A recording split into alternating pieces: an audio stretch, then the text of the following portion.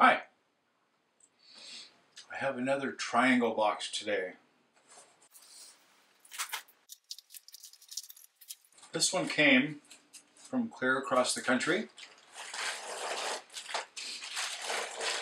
And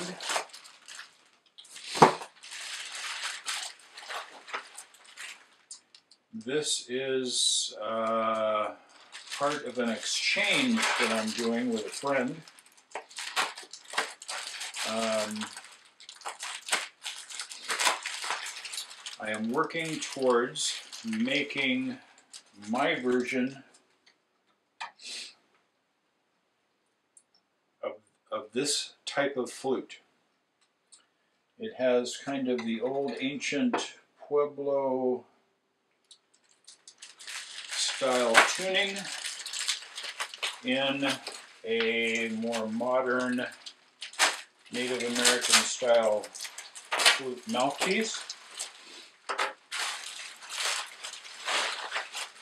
Because it's easier to play than the old rim blown flutes, which this is one of.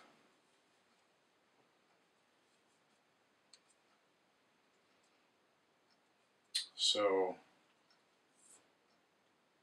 think you might be able to see that this is completely hollow. You have to make it make sound.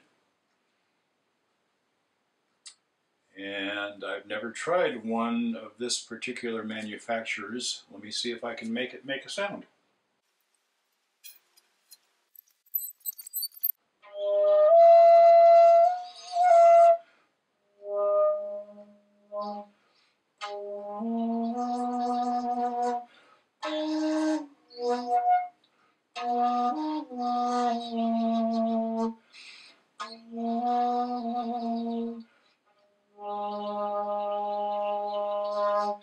Oh.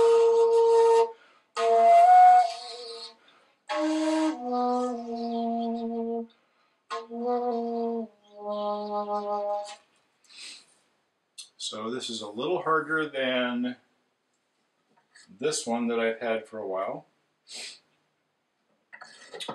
Uh, this is, uh, it's not marked. This one is supposed to be in the key of G sharp.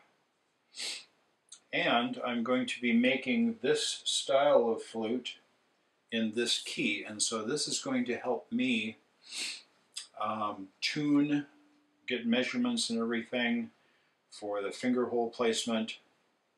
And um, I'm going to also be attempting to raise the finger holes a little bit on the bore, which will make them a little smaller.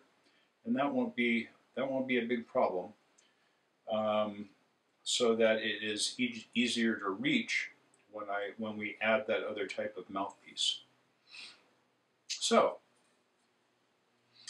this is a Geoffrey Ellis basket maker flute is what I believe this one's called. So I hope you enjoyed the unboxing and I was finally able to get a sound out of it.